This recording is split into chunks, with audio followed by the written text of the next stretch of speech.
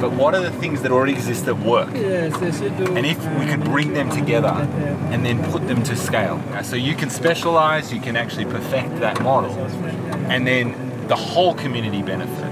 This is the idea. I think it, it, it works better that way. And, uh, Western Equatoria is a, they say it's a food basket of this country. Make it the real food basket of the country.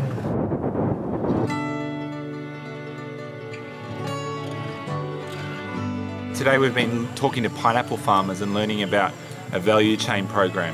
This is a project that's been running for four years and it's working with 40 farmers.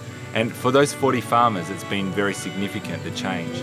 But what we're starting to sort of wonder about, I suppose, is how can we take this to scale? How can this become something that, that actually transforms the whole community? The pineapple farms represent, as we understood, a value chain. A value chain is something that has been assessed and that value chain seems to have an immense potential. And for me, that value chain is one that needs a push, an enabling environment, some support for it to move forward.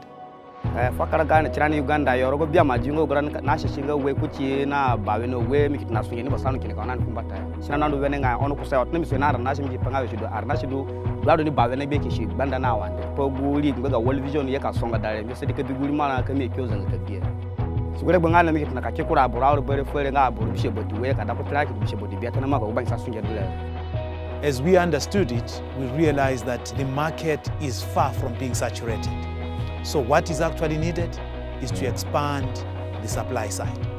A hunger-free world is created by having sufficient food today, but also having sufficient flow of income to be able to take care of oneself for tomorrow or establish other livelihood activities.